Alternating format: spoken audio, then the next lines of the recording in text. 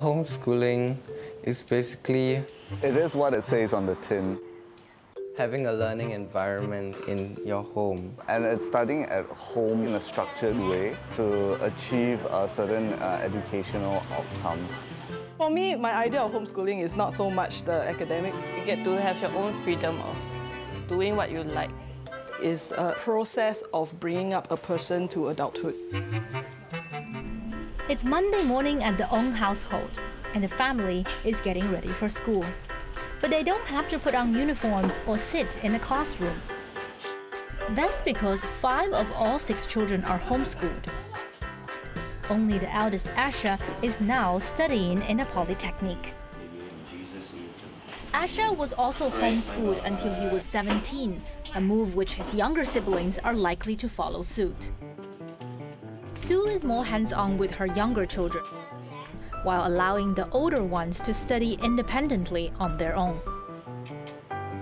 Isaac's lessons include Hebrew history, algebra, and his favorite, health and biology. One year ago, he switched from textbooks to a video based syllabus. Before I, I started this uh, current syllabus, all the stuff I learned was out of a book. I am slightly dyslexic, which makes it kind of hard for me to just take in all that reading. But when I went to video, then I would be able to um, listen and I would like just be able to be more engaged into the school.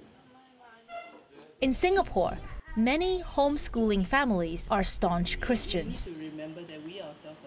The idea of why we homeschool is so that we can have a, um, the Bible as a major part of our, um, our children's education. So we saw that in, in the public schools, we're not really able to do that.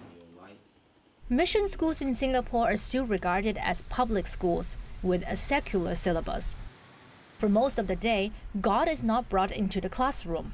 That's why some Christian families prefer homeschooling. Dan and Sue also want autonomy over how to raise their children and who they mingle with. Sue wants to impart life skills such as conflict resolution and forming healthy and enriching relationships. There's one like special quote that mommy says is that our siblings are our greatest allies in life. My closest friends are like Isaiah, Tse, and Koko. Like other families with homeschooled children, Sue is a stay at home mom, while Dan works as a private school teacher. Singapore has one of the best education systems in Asia, but a handful of parents prefer to homeschool their kids instead.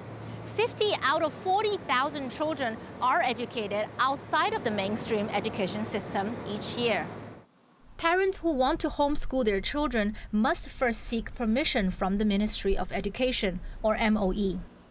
MOE told CGTN in a statement that all Singaporean children are highly encouraged to attend mainstream schools to acquire formal education and to share common experiences with their peers. Under the Compulsory Education Act, all children must attend school up to primary 6 or complete the homeschooling equivalent. Homeschoolers must take the National Primary School Leaving Examination between 11 and 15 and score a minimum grade. Grades are critical to many Singaporean parents, but for homeschooling families, other priorities also matter just as much. Sue gives her children the freedom to explore their passions and allows them to manage their own time.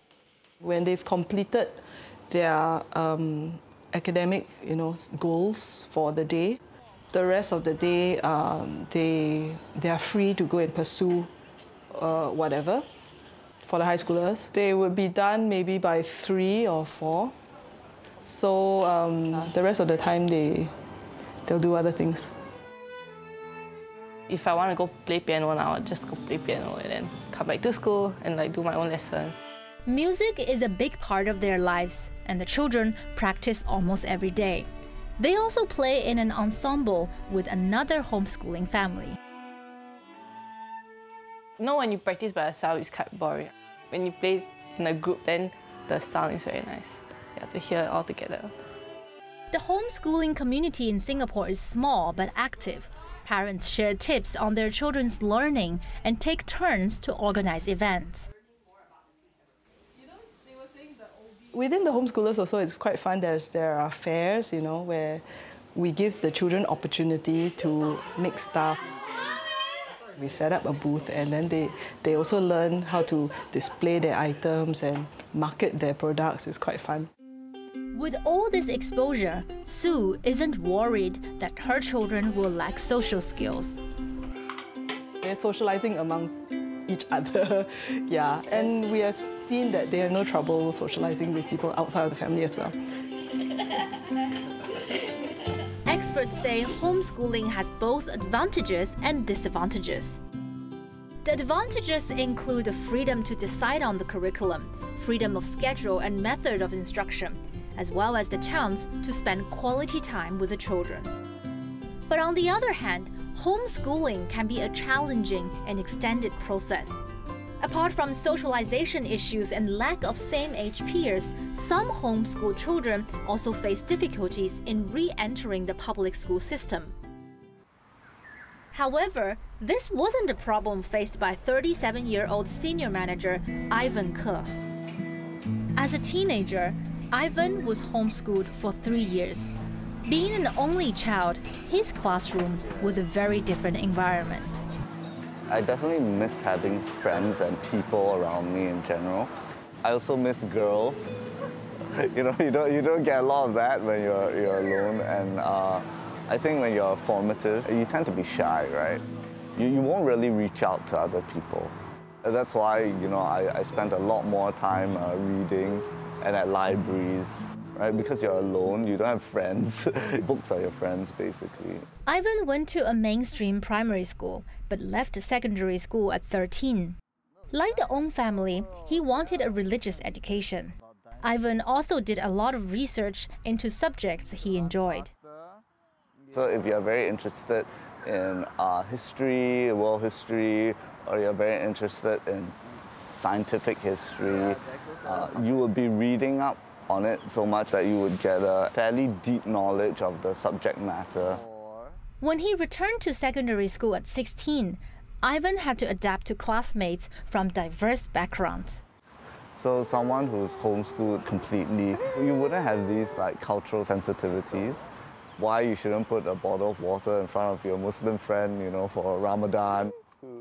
That's very important when you, especially when you go into the workforce. Looking back, Ivan wouldn't change his homeschooling years, but when his daughter grows up, he would choose a different path for her.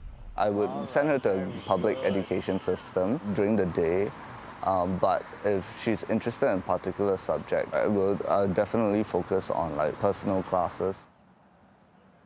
Hello. I always make time for my daughter to teach her things, so for just generally to spend time with them, right? And I think that's uh, also a form of uh, knowledge uh, transference. Yeah.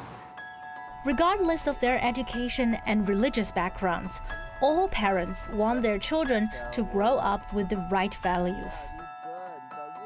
You hope that your, your kid will be uh, honest, like being herself and being like, true to herself. To watch our children grow is a, is a great joy. Mm, like when, when I've achieved those goals of them, you know, having a successful family life, being able to, um, you know, perform in, in the roles that God has placed them in, I, I would be happy. After all, there's more to a meaningful and enriching life than formal schooling, regular classes, and routine examinations. For Assignment Asia, I'm Miralu in Singapore.